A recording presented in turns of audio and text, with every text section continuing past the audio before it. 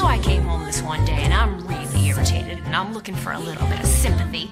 And there's Bernie lying on the couch, drinking a beer and chewing. No, not chewing. Popping! So I said to him, I said, You pop that gum one more time. And he did.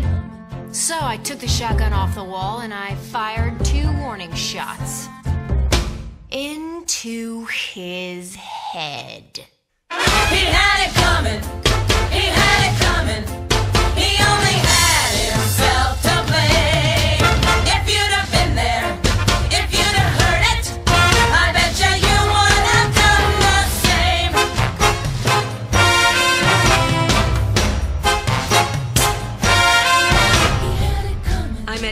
Ezekiel Young from Salt Lake City about two years ago, and he told me he was single, and we hit it off right away. So we started living together. He'd go to work, he'd come home, I'd fix him a drink, we'd have dinner, and then I found out. Single, he told me. Single my ass. Not only was he married, oh no, he had six wives. One of those Mormons, you know. So that night when he came home from work, fixed him his drink, as usual. You know, some guys just can't hold their arsenic. He had it coming. He had it coming. He took the power in his pride. And then he used it. And he abused it. It was a murder as well as a Now I'm standing in the kitchen, carving up the chicken for dinner, minding my own business. In storms my husband Wilbur in a jealous rage. You've been screwing the milkman, he says. He was crazy. And he kept on screaming, You've been screwing the milkman! And then he ran into my knife. He ran into my knife ten times. If you'd have been there, if you'd have seen it, I bet you you would have done the same. Meet Kira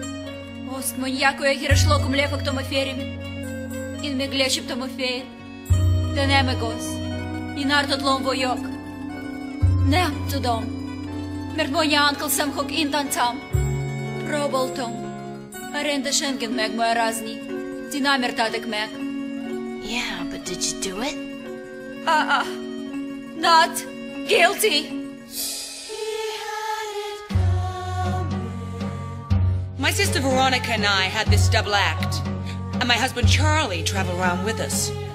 Now, for the last number in our act, we did these 20 acrobatic tricks in a row. One, two, three, four, five, splits, spread eagles, backflips, flip flops, one right after the other. So this one night before the show, we're down at the Hotel Cicero. The three of us boozing, having a few laughs. And we ran out of ice, so I go out to get some.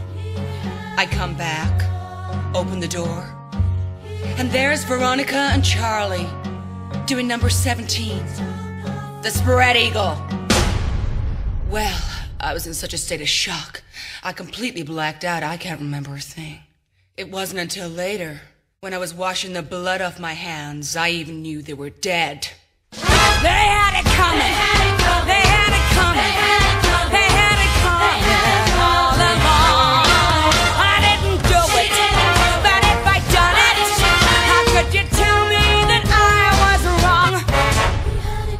Loved Al Lipschitz more than I could possibly say.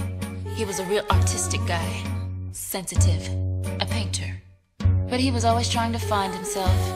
He'd go out every night looking for himself, and on the way, he found Ruth, Gladys, Rosemary, and Irving. I guess you could say we broke up because of artistic differences.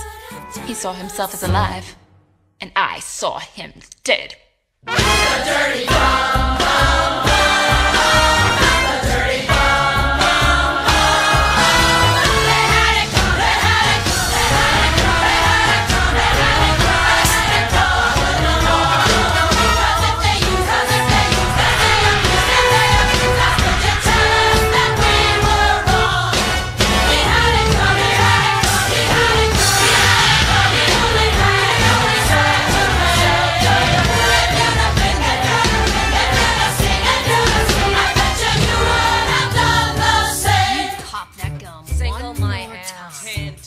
Uncle Number Sam 17, the spread eagle. Differences.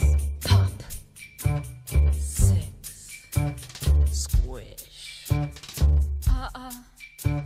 Cicero. Lipschitz.